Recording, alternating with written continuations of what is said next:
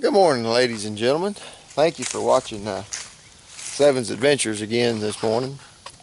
Got a little bit different camera set up here. Maybe it'll be a little bit better than that old camera phone. It.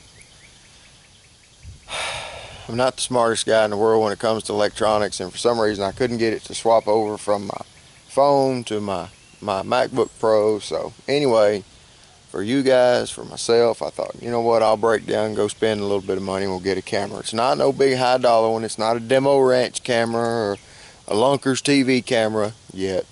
Working on it. Them guys are just awesome. If y'all don't know who them guys are, check them out, subscribe to them. They're fantastic. I love them. They're an inspiration to me and a lot of other people. Anyway, I had something I wanted to bring to y'all this morning. Something that I discovered. Uh, in trying to start shooting some of this USPSA stuff and thought, well, maybe this would be a little bit cheaper to make a simple target stand with. Um, so here it goes. Let me show you what I've been, what I've got, and what I'm doing here.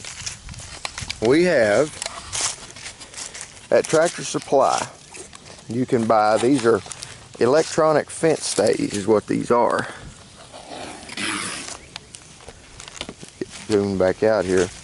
These are just your standard old, you, you hook them up to an electronic fence. They're, I don't know, a dollar fifty, dollar sixty-seven. Got a little step on them. Stick it in the ground. Got to kind of tilt it back a little bit the way I've got it set up. Shove it down in the ground a little bit. There we go. Now, get you another one. One of them, as you'll see here, has already been shot at. It's got some holes in it, but we're going to use this fresh one here. Get you another one, put it, oh, about the same distance apart as a as the uh, uh, piece of cardboard that you're using. Mash it down in the ground. Get it set up. In fact, let me uh, walk back over here and we'll get the tripod and maybe it'll be a little bit easier for everybody to see set this up on a tripod here temporarily. Bear with me for a second. I'll get this thing set on a tripod. Now, all right, now maybe we can see what's going on here. Okay. you take the piece of cardboard. It's say yay big. You can cut them however you want to. You can go to your you can go to your local your local uh, hardware store or just pretty well anywhere. It's got cardboard that, that you can pick up. Sorry, I'm still learning how to use this camera equipment, guys. Just try to bear with me here for a moment. And uh, get you some cardboard. Or you can buy the the the uh, IDPA USPSA, the ones that's pre-cut. You can buy that and use it. That that works great. You can you know build your 10 15 dollar PVC or wood stand. Works good. That's fine. However, these got these little plastic clips, and they're a dollar sixty a piece. They're very expendable. If you was to shoot one to where you couldn't use it no more, a dollar and sixty cents, and you get you another one. Take a piece of cardboard slide her down in that clip right there, like so. And basically, you got you a, a, uh, a, a uh, target stand with a holding your, your USPSA. I'm, I've got some on order, for regular USPSA. So you draw you, if you're just using like I am, piece of cardboard, you can draw you a circle for head, or you can make it a obviously I'm not an artist so or you can draw you a square you can draw you a square down here for your alpha zones color it in if you want to. Anyway like I said I've got another one right here that I've made up. This is one I worked on a few days ago and had shot made a little circle and kind of simulating a, a poor man's excuse at an alpha zone. And you stick them on them little these little electric fence stays right here that are $1.60 at Tractor Supply. They got little plastic tabs on them and they just stick in the ground. Very, very simple to use. Nothing to it. so, I set that up and as y'all could probably may or may not can see, let me back the camera back up here. I've got kind of a little makeshift practice area here. Got target over here. These are all steel. The, the one in the middle, this one right here is AR500. I broke down and bought it. These other, this one and the one, the round one on the left and this round one on the left, and this square one, they're just soft steel. And I've shot at them a time or two with a rifle, and it's uh, it's put a dent or two in them. But you know, it, right now I don't have quite the funds to spend a lot of money on the high dollar stuff just yet, but maybe we'll get there here for too much longer. I'm gonna take a couple of shots for y'all and uh, we'll see what it kind of see what it turns out looking like. Let me get my ears on. If I can find them. Always got to have your ears, your eyes and ears. Go around and get yourself hurt. And you're shooting steel fairly close like this, you're usually okay.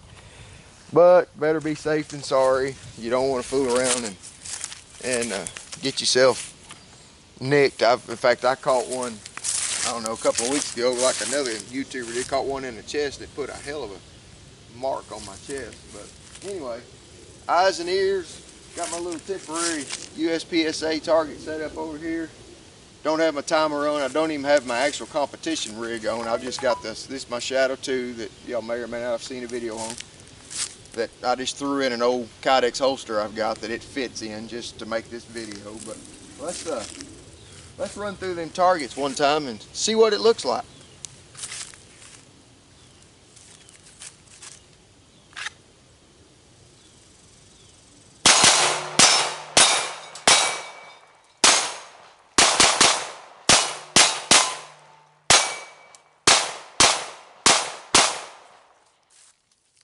and she's empty. So, and if, you know, you kind of, obviously you, you need a little bit of a piece of ground to, uh, to shoot a little bit like this. Fortunately, I live out on several acres, so, but you can have you a little setup that will actually let you actually do a little practicing. I mean, I know that's kind of I quote, quote unquote ghetto, but hey, it's cheap. I spent, I've got $2 in the legs. You can buy the, you can get the cardboard pretty well anywhere. I think I gave $100 for that, for that uh, steel target and these I've picked up from work and, and uh, just used to practice with. I don't have an actual full-blown stage yet, but maybe one of these days I'll, I'll get there.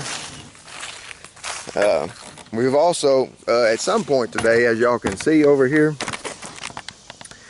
something's going to happen with that. I don't know if it'll be tied in with this video, but that's that old air conditioner that quit on me. And by God, I'm to blow that son of a bitch up if it hair lifts the governor. I don't like it. It's irritated me, so we're to see if we can do away with it. Well, I appreciate y'all watching this episode of Seven's Adventures, and I'll probably tie this one in with some more uh, for a video later today. And uh, in fact, you know, I told y'all I was to shoot, show you this shadow, shooting this shadow. Let's see if I can get behind the, the viewfinder there without tearing up my new camera and get a view of shooting this old girl from basically bird's eye from y'all's point of view. Had never tried that, so let's see what it looks like real quick.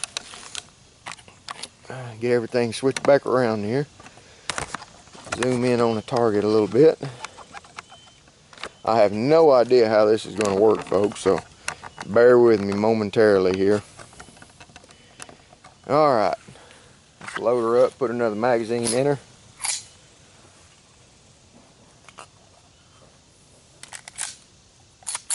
All right, she is hot. Let's get her eyes and ears on.